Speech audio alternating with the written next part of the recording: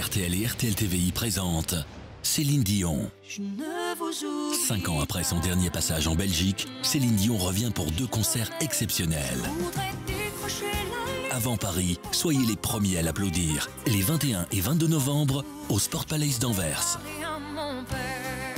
Réservez vos places au 070 345 345 et sur c-live.be.